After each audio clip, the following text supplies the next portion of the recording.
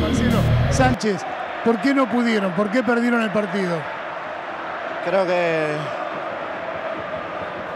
estuvimos nerviosos, la ansiedad más que nada en el primer tiempo y en el segundo tiempo ya era tarde, íbamos 1-0 abajo y bueno, no pudimos revertir, pero siempre buscamos, ¿no? Así que con tranquilidad, lastimosamente a la gente no le pudimos dar una alegría, pero bueno, esto sigue, hay que seguir, no hay que quedarse con esto, ¿no?